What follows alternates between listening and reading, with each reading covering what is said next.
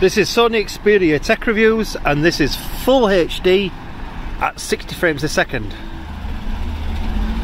How are you finding this? I see it a little bit jerky at the sofa. This is with stability off. Pan shot.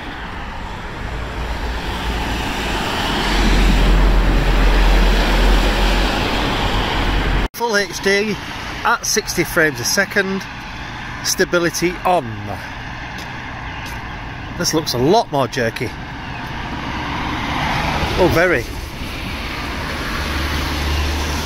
Pan shot.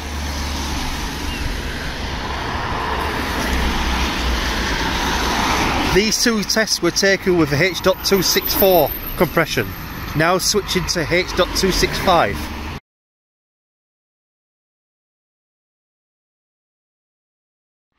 This is second series of tests, full HD, 60 frames a second at um, 60 frames a second, full HD, like I said, uh, with H.265 compression, stability off, HDR off.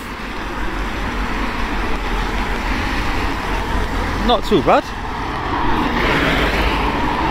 Pan shot.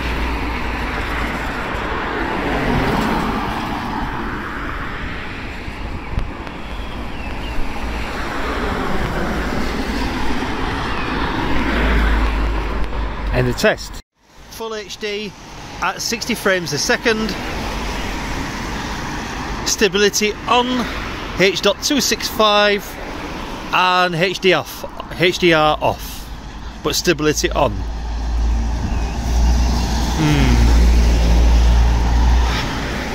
So anything over 1080p HD and HDR and 1080p normal at 30 frames it seems there's a, a consistent issue. Stability on is worse than stability off. Now the question is, what we have to ask Sony is why?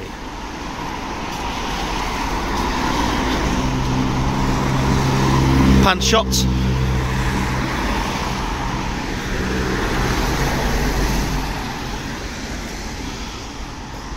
Right, so I'm just going to give a little test with HDR.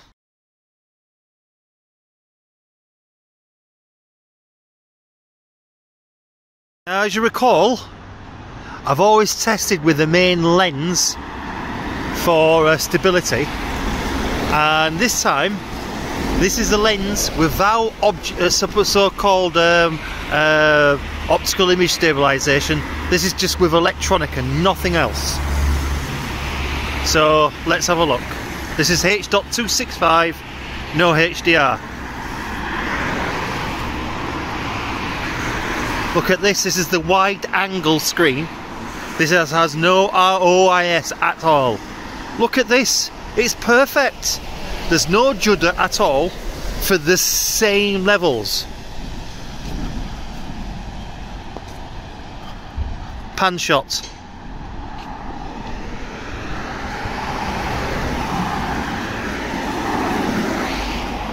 So, conclusion optical image stabilization plus electronic image stabilization on the same lens equals failure.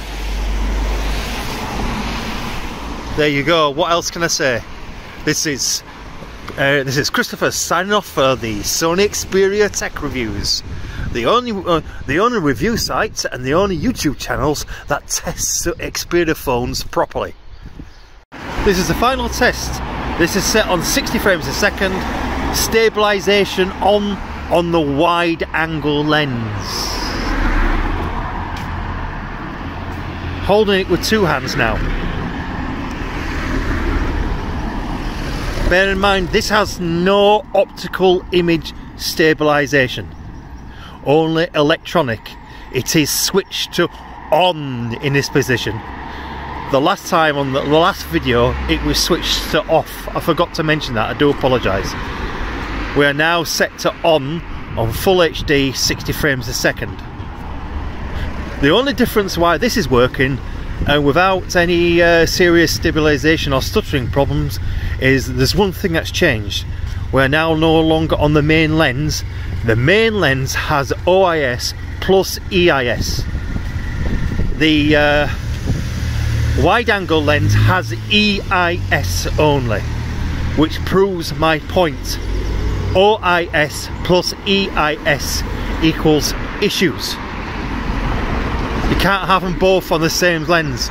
This proves that OIS is interfering with EIS or vice versa and it's producing substandard results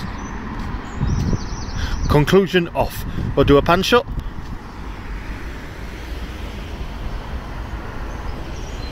No issues. So please remember my channel thoughts. It's a Sony Xperia Tech Reviews and I am the only one who's discovered this and come to a conclusion that the main lens and the telephoto using OIS and EIS together is a re recipe for disaster. I'm now holding it by one hand by the way the phone so if we have EIS only with no OIS on the lens as the wide angle does has no OIS but only EIS it works perfectly. Look at this. Wonderful. Not an issues and by the way as you know I'm heavy footed and I'm actually bouncing up and down a little bit on my feet now. Beautiful why can't all lenses be like this? So we've got a conclusion. EIS with no OIS whatsoever behaves perfectly at 60 frames a second. While it causes issues on the main lens and um, and on the telephoto. And thank you very much for bearing, bearing with me. This has been an epic test and I hope to speak to you soon